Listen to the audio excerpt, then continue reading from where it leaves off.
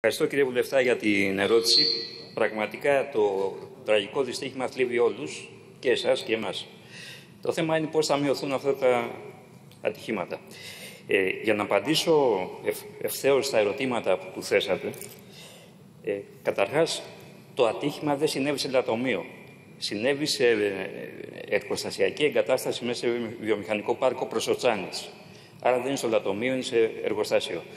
Ε, στην περίπτωση αυτή, αρμόδιο σώμα δεν είναι οι επιθεωρητές μεταλλίων του, του ΙΠΕΝ, του Υπουργείου Περιβάλλοντος, αλλά οι επιθεωρητές εργασίας του Υπουργείου Εργασίας.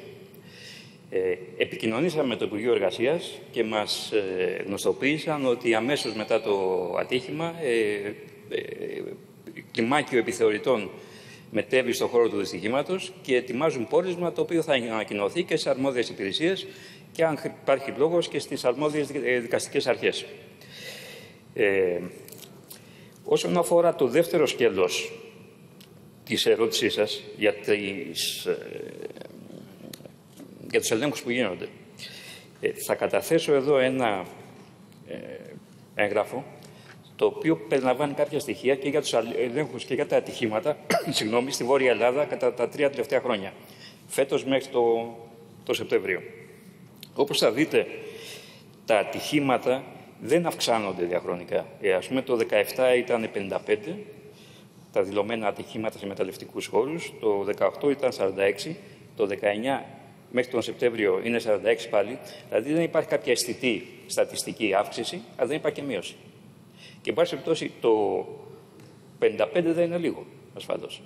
Ε, δεν είναι φυσικά όλα θανατηφόρα, αλλά είναι, είναι ατυχήματα στα οποία υπάρχουν ανθρώπινα θύματα με, διάφορους τρόπου, ε, με διάφορες έννοιες του όρου.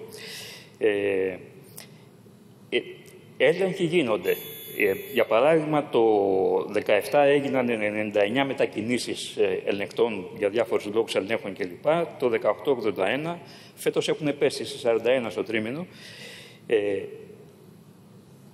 το θέμα που θέτεται στην τελευταία ε, ερώτησή σας είναι υπαρκτό. Οι υπηρεσίες είναι υποστελεχωμένες. Είναι υποστελεχωμένες για τους ίδιους λόγους που οι άλλες υπηρεσίες του δημοσίου είναι υποστελεχωμένες, βέβαια. Ε, Προφανώς, ε, επιλογή της κυβέρνησης είναι η, η αντιμετώπιση αυτού του προβλήματος και σε επίπεδο στελεχών αλλά και σε επίπεδο εξοπλισμού. Και αυτό θα γίνει, εργαζόμαστε σε αυτό στο πλαίσιο βέβαια των δεδομένων δυνατοτήτων της σημερινής περίοδου. Ε, όσον αφορά, ε, θα μείνω εδώ μάλλον και στη δευτερολογία θα αναφερθώ στο θέμα της ε, ενδεχομένως ενός τοπικού παρατήματος του Σώματος Επιθεωρητών Βορειοελλάδος. Ευχαριστώ πολύ.